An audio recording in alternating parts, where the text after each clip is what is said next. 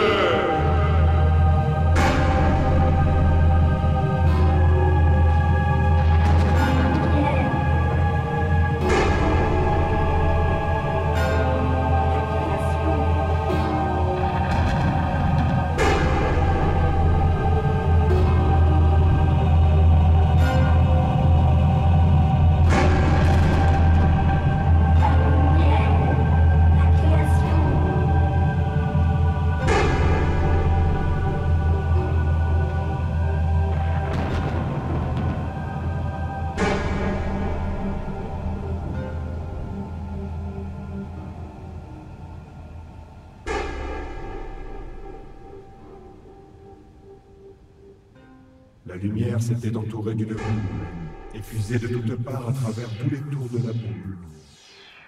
Chacun voulut sa part, chacun voulut entourer la lumière comme la boule, et comme de la boule de chacun la part de lumière se mit à fuser.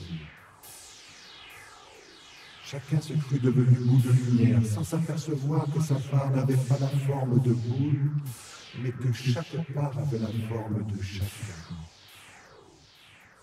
Chaque part était différente de sa voisine, et aucune de ses voisines ne s'accordait vraiment.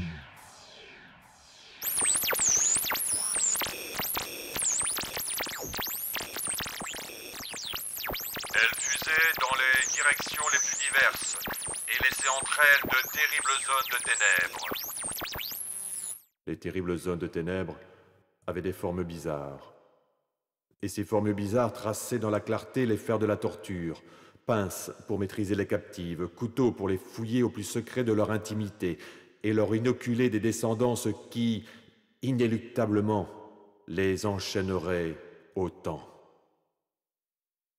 Comble de l'hypocrisie.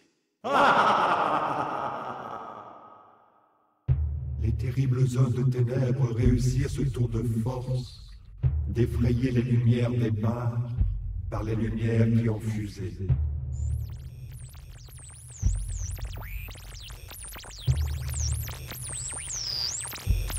Ainsi, les terribles zones de ténèbres assurèrent leur domination sur les parts de lumière en apparaissant à ces hurlantes prisonnières comme leur seul refuge, leur véritable protection. Toutefois, ces terribles zones de ténèbres avaient fini par rendre intenable la vie de chacun. Et chacun chercha une solution au problème.